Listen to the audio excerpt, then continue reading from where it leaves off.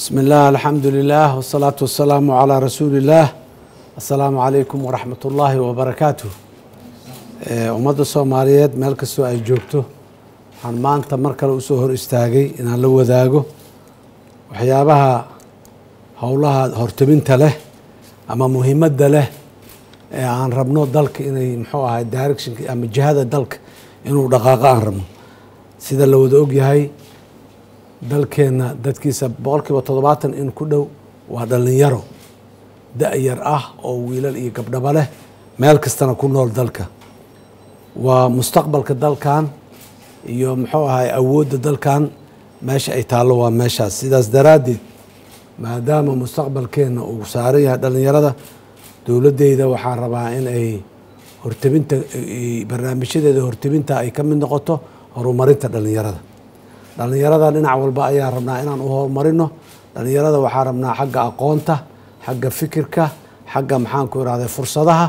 Intaba inay ka hormaraan leanna waxaan aaminsannahay dhalinyarada soomaaliyeed markii fursad la siiyo in ay cid walba ka ka fiicnaa karaan inay cid walba ka horumari karaan inay cid walba ka awood badanyihin kana wax soo saari karaan. Sidaas daraaddeed maadaama dalkani ay fursadaha ay cidhiidhi iska noqdeen dowladdeennuna ay muddo dheer dowlad nugul soo ahayd welina ay dowlad nugul tahay. Waxaan rabnaa inaan markaan aan xoogga isugu geyno sidii dhalinyarada iyo horumarinteeda dhinac walba ah looga fikiri lahay. Waxaan rabnaa galabta rabaa inaan ku dhawaaqo inaan furayno haddii alla yiraa hindisaha horumarinta dhalinyarada qaranka ama dhalinyarada soomaaliyeed oo aan rabno talada dalka inay wax ku yeeshaan. Jihada dalkan uu aadayo waxyaabaha la qabanayo waxa mustaqbalka ee soo socdo la wada hiigsanayo dhalinyaradu inay doorna ku leeyihiin talana ku leeyihiin. Muhiim maaha inay titles iyo xagga iyo ka yeeshaan laakiin talada mustaqbalka qaabeyntiisa inay dhalinyaradu ay aasaas u yihiin saldhig u yihiin ra'yigooda iyo caqligoodana uu yahay. Midka lagu soconayo oo aan anigu aaminsanahay inay yihiin dadka ugu habboon ee inay caqligaas dhiibtaan waxaan abuurnay waxaan abuuri doonaa iyadoo dalka guud ahaanba saaxada siyaasadda inaan furno aan rabno. Oo sida dastuurkeena uu caddaynaya aan rabno in xuquuqda isu imaatinka xaqa isu imaatinka xagga xaqa wada tashiga xaqa maxaan ku rahay afkaarta xorta ah oo madax bannaan dadku inay gudbiyaan ayadooba dastuuri ay tahay. Meel taallo haddana inaan abuurno jawi dhalinyaradu ay isugu imaan karaan ra'yigoodana ay dowladnimada iyo qaabeynta mustaqbalka soomaaliya oo dhan ay ku biirin karaan.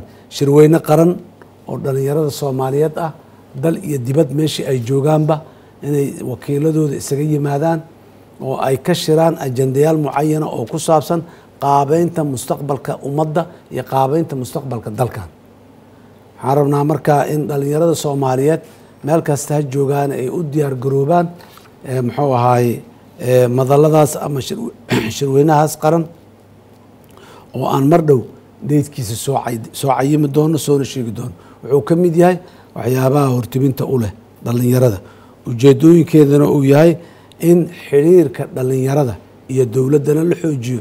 Xiriirka dhalinyarada dhexdooda iyaga ah gobollo kala duwan ha ku noolaadeen dalal kala duwan ha ku noolaadeen mihnado kala duwan iyo maxaanku rahda ha ku jireen iyo inay yani iska warqabaan oo dhalinyaro ahaan dhalinyaradu ay iska warqabto. Dhalinyaro ahaanna xaqa ay leeyihiin iyo danaha ay leeyihiin iyo waajibaadka dalka ay uu ku leeyahay ay fulinayaanba wax ay ka tashadeen oo ay iswarsadeen oo ay ka doodeen oo isaga warqabaan inay noqoto ayaan muxuu ahay aada iyo aad. Yaan yaan uga talinaynaa una rabnaa inaan ka sheegno. Shirweynayaashu waa isdaba socon doonaan dalka gudihiisa marba meelaa lagu qaban doonaa marba meel ayay dhalinyaradu isugu tegi doonaan. Laakiin albaabkaasi maantaan bilownay waa furan yahay waanu soo socdaa haddii alla yiraah insha allah. Taas marka aan intaas aan ku soo koobo waxaan rabaa kale inaan ayadana galabta fursad waayo aan ka dhawaajiyo dadka soomaaliyeed. Ma aha dhalinyarada oo keliya ee dadka soomaaliyeed meel kastoo ay joogaan in la abuuro fursado. Fursadahaas oo ah shaqo abuur hindise shaqo abuur ayaa waxyaabaha hortebinta leh oo dowladdeeda xukuumaddeenu inay la timaado aan rabno maalmaha usbuucyada bilaha soo socdo waaye waxaan rabnaa inaan abuurno fursado in dowladda loo wada shaqeeyo oo dhallinyaradu ay wasaaradaha iyo meelaha ka shaq bes ma aha. Dhallinyaradu waa inay iyagu lasadooda ay ay awood leeyihiin oo ay shaqo abuuraan dhallinyaro kalena shaqo u abuuraan laftooda.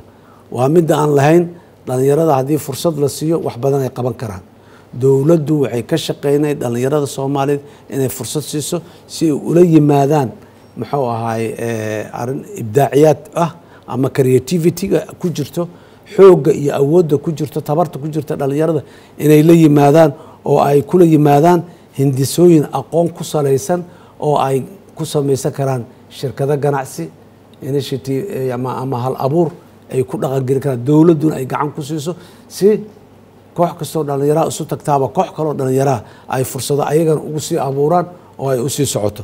Waxaa intaas dheer muhiimadda koowaad oo dalka xoreyntiisa ah ayaa hadda noo horeysa mar inaan dhallinyarada xoogga isla saarno dalka sidii loo xoreyn lahay si aan u soo jiidano investmentiga caalamiga dowladdani waxay ka shaqeyn doontaa inay abuurto jawi oo maalgelin caalamiga iyo maalgelinta soomaaliya hantida soomaalidu ay leedahay ee dibadda jirta.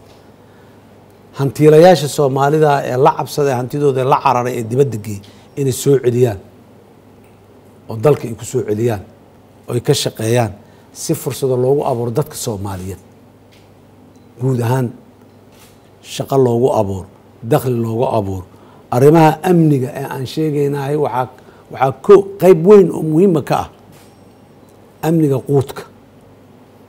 Amniga quudka ama waxa afka qalaad lagu yiraha food security waa meelaha aan rabnaahe dhallinyarada inay shaqana ka abuuraan ganacsina ka abuuraan dalkan ay u abuuraan u sameeyaan kalsooni buuxda oo ku saabsan in amniga quudka xaggiisa dalkani dhinac walba marka loo fiiriyo badda iyo bar haddii la yihaaho xoolo iyo beer haddii la yiraahbo waddan qani ahaan nahay. Haddana gacantaa noo hoorsan.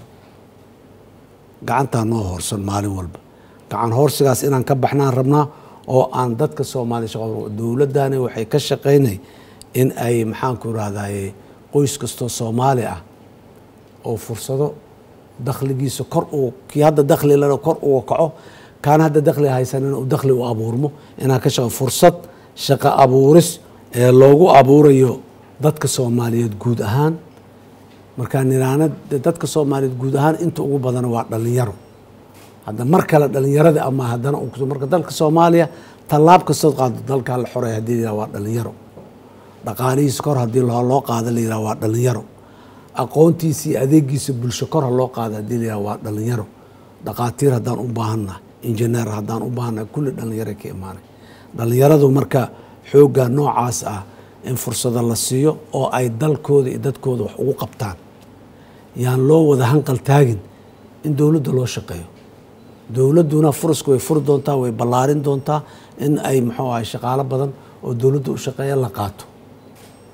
Laakiin waxaan rabno waxay tahay inta dowladdani ay abuuri karto shaqo ah waxaa boqol jeer ama kun jeer ka badan inta shaqo ee brivateku uu abuuri kara ama hadda uu hayo. Shaqaalaha dowladda ilaa shan kun iyo jarjar waayaa la yiraa brivateka maanta jira meeqaa u shaqeyso meeqa kunaa u shaqeyso waa laba ujubaari saddex ujubaari afar ujubaari waay. Marka mar walba waxaan xoojin doonaa brivatka waxaa brivatkana waxaan rabnaa brivatka yaryar oo ay dhallinyarada hormo shirkadaha yaryar ee ay dhallinyaradu ay ka tahay hormood. Maaha kuwa waaweyn oo muxuu ahay balaayiinta doolar haysta maaha. Kuwa yaryar ee hadda jirana in la sii dhiirigeliyo haddii ay adeeg hayaan iyo hadday wax soo saar hayaanba kuwa cusubna in la abuuro oo ay ku soo biiraan saaxada haddii ala yihah sidaas daraaddeed waxaan rabnaa dhallinyarada soomaaliyeed meel kastoo joogaan ha u diyaargaroobeen dalkan in ay horey u dhaqaajiyaan. Ha u diyaargaroobeen in ay dowladdooda gacanta inta qabsadaan fursadaha uu dalkan leeyahay oo dhan inay gacanta ku dhigaan ay ka faa'idaystaan maanta haddii aanay ayaga sidaa yeelin meel bannaanaanaysa ma jirto. Fursadihii inta soo baxaan haddii ay waxaan saan u lena waxaa ka mid ah fursaa abuur maaya mar dhow fursadahaas abuur maayo haddii aanay dhallinyaradeenna aanay buuxin oo aanay qaadanin meeshu cidlo ahaan mayso waa la soo buuxinaa. Waxaana soo buuxinaya dhallinyaro kale oo maxaanku irahda ajnabi ah. Odayaal waayeela nooma soo shaqo tegi doonaan. Waxaa noo soo shaqo tegi doono generationkan meesha taagan wiilashan iyo gabdhahan iyo inta la da-daa lamidkaa la aqoontaa xataa yaa noo soo shaqo tegi doono marka annagu aan u xeydxeydano una diyaar garowno furaskaas inaan annagu buuxino sidoo kale inaan abuurno. Furaska annagaana laga rabaa inaan abuurno. Dowladduna fursadahaasi ayaduna dowladdu wixii furas abuuri karta laakiin yaanan meel loo fadhiisaninoo la dhihin dowladdaa soo wado. Idinku inaad abuurtaanaan rabnaa. Dowladduna way abuuray si wax badan ay u noqdaan. Dowladda bes haddii la sugo dowladdu fursa waa ay waa kooban yihiin dhalinyarada keligeed ha loogu samey inaan dhahno oo furaska abuura ayagana koobnamo inaan isku darnaan rabnaa. Labada xoog aan isu geyno oo aan furas badan oo dhalinyarada soomaaliyeed meel kastoo ay joogaan miyi iyo magaalo ay helaan oo meel walba leh. Kan miyiga joogana waa inuu furas helaa loo abuuraa fursado. Kan magaalada joogana waa in loo abuuraa.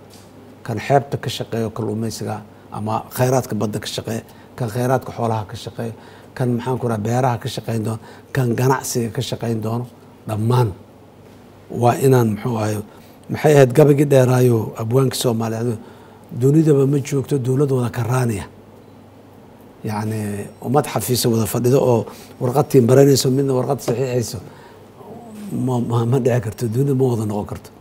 Waa tii shaati madow haysataa oo maxaan ku irahda overall gashan oo gacmaha iyo maxaan ku irahda jirka olyo ku leh oo shamiinto dhismo iyo dhiiqa ku leh oo socoto waaye markuu shaqada ka soo baxana inta isnadiifiyo suudkiisa soo xirto muxuu ahay magaalada yimaada asigo oo nadiif aho muxuu ahay suud fiican xiran kara ama iibsan kara. Aad iyo aad ayaan dhalinyaro dhalinyarada soomaalida meel kastoo joogaan leeyahay. Dhalinyarooy dalki iyo dadki iyo deeqa badan ee dhex yaallaba idinkay marti idin yihiin.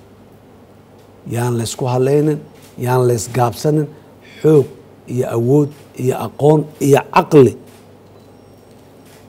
dadka dunida ku nool haddaadan ugu saraynina uguma hooseysaan. Nafsadiina ku kalsoonaada dowladdiinana ku kalsoonaada dalkiinana ku kalsoonaada horay u dhaqaaqa haddii ala yihah beri iyo beri dambaba haddii ala yihah aad iyo aada umahadsantihiin. Wasalaamu calaykum waraxmat ullaahi wabarakaatu